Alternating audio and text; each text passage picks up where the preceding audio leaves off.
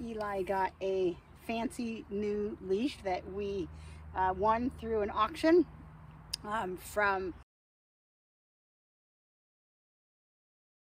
I want to show it to you. It's a it's a collar leash combination and uh, it has a quick release for the collar if I want that.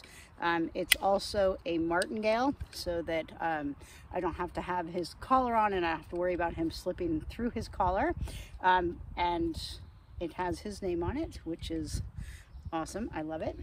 Um, so, but anyway, I wanted to show you guys um, teaching our dogs to get their leash put on and taken off is a really valuable skill definitely something that I encourage all of my students to do. Um, so I just want to show you a little bit of the mechanics of how I do it.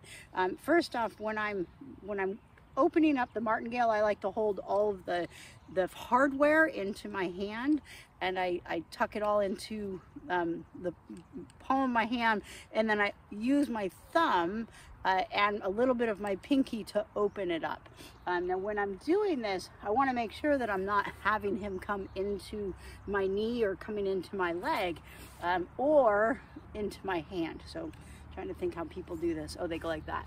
Um, and then the dog is coming into the arm of the person um, and dogs don't like to come underneath usually um, so if you hold it out here and then we're going to pull his nose through towards my hand as opposed to um, away from my hand. So, all right, let me let me bring him over. Bud, super job. So he's on uh, my um, incorrect side for my hand position currently. So as I stand now, it would be much, it's more cumbersome for me to ask him to come through this way. And although he can do it, it's not the easiest way for me. So now he is coming from the side that I want. So I've got my hand holding him to begin with. And then what I'm gonna do is I'm gonna move this hand right in between the uh, in the center of the martingale and then slowly just pull him through and he pulls on the collar as opposed to me um, pushing it back on him. Let me change hands. Let's change hands here, bud. so, oh, all right, sit, sit, sit, sit. Good. So to begin with, opening it all the way up, I'm going to put, sit, sit, good boy. I'm to sit, wait, hold on, hold on. I'm going to put my cookie right through the center. I'm going to put it at or be just below his nose level. you can see he already wants to do it. Come here, bud. Sit, good. So I'm to put my cookie at or below. Now, if he struggles, I'll put my hand all the way through and then slowly pull my hand forward. Notice that I'm not moving the collar part. He's actually coming into, he's coming into the collar. So I'm just to set him away from me. I can send him on a get it. And then I can get ready. Cookie's in the middle. Yes, he comes in and gets rewarded. Notice when, when I'm taking it off of him, he's kind of uh, pulling his head out um, like he's uncomfortable. So I just want to pay attention to that because there could come a point when taking the collar off actually becomes more um, uh, stressful for them than I want. And so I want to pay attention when he's in and now when I go to take it off, um, is he struggling to get it off or is he comfortable getting it off? So I just want to pay attention to that. And if he started to become uncomfortable with it, then I would utilize my buckle snap here and unsnap him um, for the release. All right, so buckling it back up. I hold all the hardware to hold the martingale open as wide as it goes. And this particular one, this has a sliding um, stop here. And so I can actually allow the martingale to open up quite wide, almost Great Dane size. Um, and, you know, to, to for beginning, um, or um, I prefer to have slightly closed because he's well trained for this. And then it's less of a, of a loop. Bud, eat, good. Get dressed. And then once he's doing it nicely and um, easily, and he's willingly coming into um, the collar, then I would start to label it. So I don't label it in the very beginning. I wait for them to understand and, and want to do the behavior before I label it. Get dressed. Yes, good boy. Super. Excellent. Get dressed. Super. The other thing is if he starts to struggle with that going um, back over his head, then I would open this up just a little bit to give him a little bit more room to go in and out of it um, without stress. Yeah, good boy.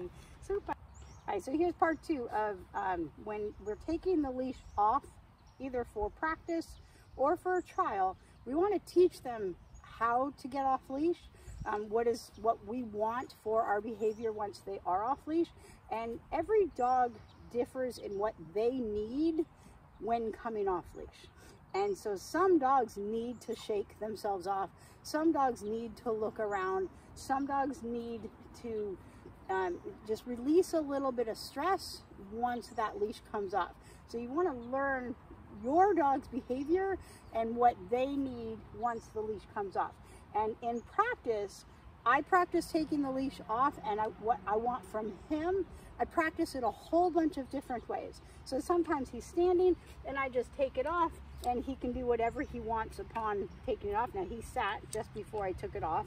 So let me put it back on. I don't want him to think that he's in a stay. So just taking it off.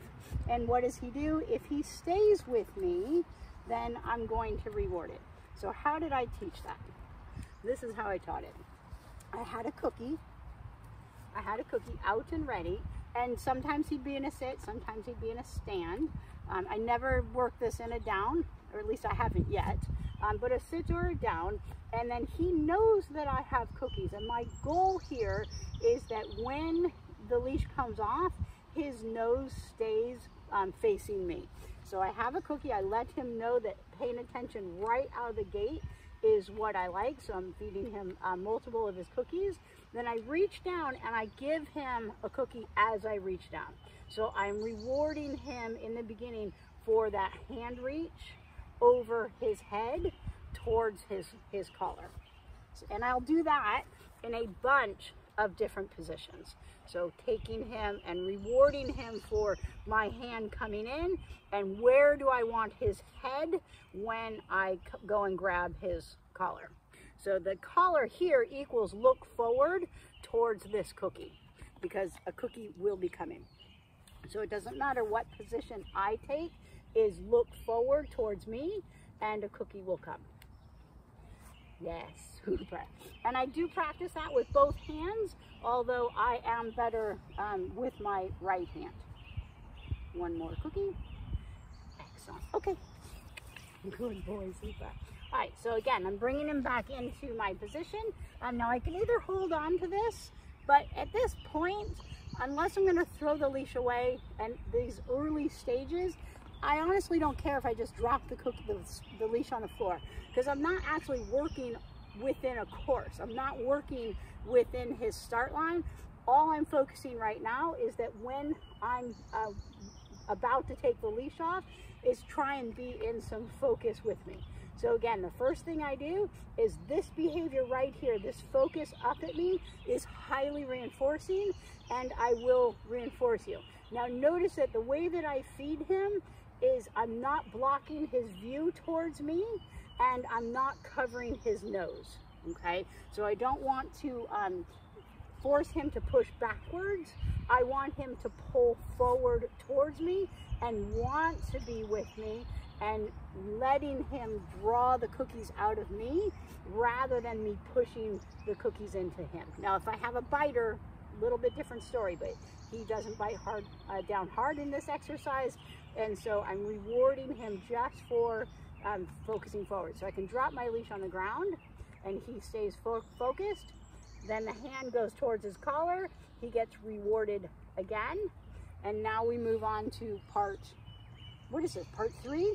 part four? I don't know. Anyway, then we move on to the next part of this exercise. So the next part is actually taking the leash off.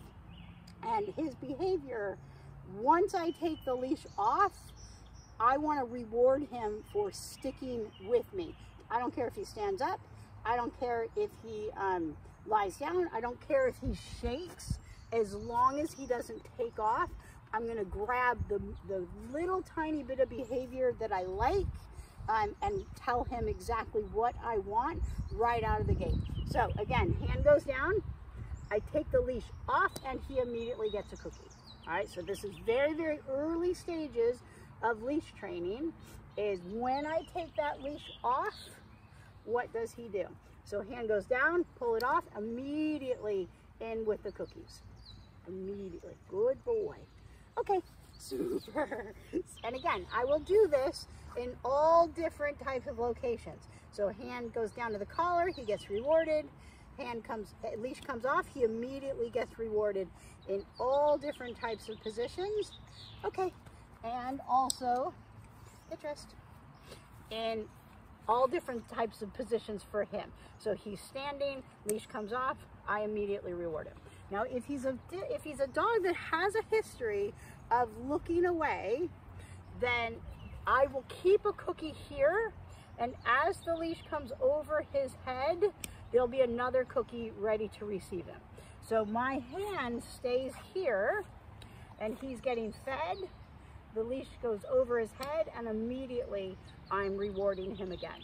Okay, and then the exercise ends. I'm not going on to um, practice a course. I'm not doing any exercises outside of that. I'm just working this behavior of coming on and off the leash and him getting used to that.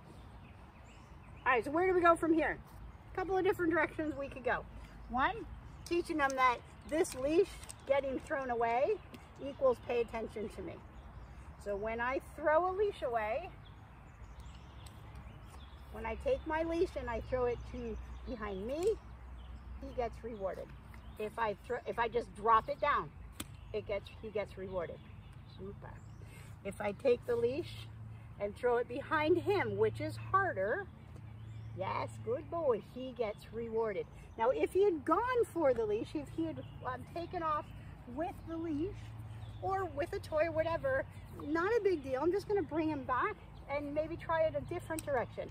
Make it go um, in a, a closer direction or maybe just off to the side of him while also rewarding him. So that there's not a question of will you get rewarded for this moving? Yes, there will be a reward coming. Okay, and get back dressed. So see how he moved towards me when I said that? Um, so that's my question. Do you want to get dressed or let's get dressed is usually more what I say. Um, since we're practicing this, he definitely wants to. Um, but it's let's get dressed or get dressed, either way. Um, all right, so we've worked through multiple um, sections of, of the leash. One is how to get them on leash. So you want to make just getting on leash rewardable and especially if you've done a sequence or you're in practice, the leash should equal going to a jackpot. So either out um, of the arena or at the side of the arena or at your car, there should always be a connection. Once the leash goes on, we're not done with our training. We're actually coming to the end of our training, which is going to equal a jackpot for you, along with a cool down, a drink of water, a chance to potty. Right, is this stressing? So he just showed a sign of stress by yawning. Um, I just want to pay attention to that, that me talking um, for a duration without much attention towards him is difficult for him. I just want to acknowledge that. It doesn't necessarily mean that I'll do anything different at this point because he's still with me, but I also want to acknowledge thanks for hanging with me, bud, um, and, and working with me. All right, so going back to the leash actually being off. So once the leash is off and I can reward him, then I want to work on tiny little steps. Can you stay with me in attention and move in my direction? And all I want to do is, in the very beginning, is can you move two steps and stay with me? Can you move, um, and notice that I am backing up because that is the easiest for dogs to do rather than moving with us in the direction, um, uh, in the same direction as us. This is harder for them than backing into us, okay? Yeah, you're very clever. So once I see that I've got him, then can we move side to side? And you stay with me. And if you can, I'm gonna reward them. Yes, super, excellent. And then I may start working on him coming into position once he's off leash. So I'm gonna put him back on leash. Get dressed, super, And now I'm gonna ask him to come into position. And I can do this two ways. One, I can do it on leash, or I can move to it off leash and see if he can come into position. When he's off leash, it's going to be harder. So if he's struggling, then work on your on leash behavior before you work on your off leash behavior. Set up, set up. Yes, super, super. Oh, you're falling over. Yes, good. Set up, set up. Excellent, good, super. Zip, excellent, good boy. Super, super. So we've only done a handful of zips on leash, which is more cumbersome for me. So zip is something that I prefer to do off leash, um, but there are many trainers that do zip on leash. Teaching them how to do zip with the leash on is a skill all in itself, so you want to include it in your training. Zip, zip, yes, super. So how do you physically handle the leash when it's wrapped around your leg? How do you deal with that? How do you get the leash off? Do you take the leash through your legs? Do you uh, leave the leash behind you here and then take their collar off here and drop it? Is that going to catch onto your foot when you do that? Is it going to catch onto your dogs? Um, know whether or not, so right now he just sat on the left part of the leash right here. What happens when I pick it up, oh he wasn't sitting on it, but what happens when I pick it up and move it past him and he can feel that. So what happens to him? Does he move out of position? Does he like it? Does it bother him to have the leash moving around him? And if it does, then I either need to be aware of that and not do it in, in a training scenario or train for it, right? Like teach him that the leash coming over him is not a big deal, but he really could care less. And so if I had a dog, my daughter's dog, if I did this to my daughter's dog, she'd probably pull all the way out of my legs and say, please don't ever do that again. So it's not something that I would do to her um, or that I would encourage my daughter to do to her in a trial scenario. So you have to know your dog and what they like. If, oh, so he didn't like that. Did you see that? So I went to, and it could be that he was going for the cookies, but it also could be that I had I went underneath him and he's not used to that. So if the leash is underneath him, is he going to bother with it? Yes, good boy. Super. Super job. Excellent. Can I get him dressed like this? Get dressed. Oh, much harder. Get dressed. yeah, so he, he shows me it's difficult. We've never done that before. Whoops, back it up. Get dressed. Yes, super job. Super job. Is that everything with the leash? There's probably more, huh? Here's another thing. Yeah, yeah, can you tug? Yes, yes, can you tug with the leash on? And is this something that you want? Is this something that you want in your training repertoire? Um, will your dog go for the leash while you're training? Will your dog go for the leash while you're um, on course? And if they will, then you need to train with this distraction in their um, training plan rather than just expecting it. Yeah, out, super, super job. But what if you don't have a martingale collar and just have a regular traditional leash? This is what I do. I take my handle, my handle, put my buckle through, and that makes my, my, my noose.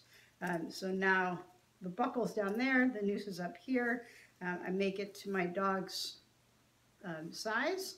So small dogs would be smaller, big dogs would be bigger. And same exact thing, right? Get dressed, good boy. And then it tightens up around them. And at that point, then I can take this end of the leash and buckle it to my dog. So again, it's opening it up, getting it open, holding where the two meet. Get dressed. Good boy, super.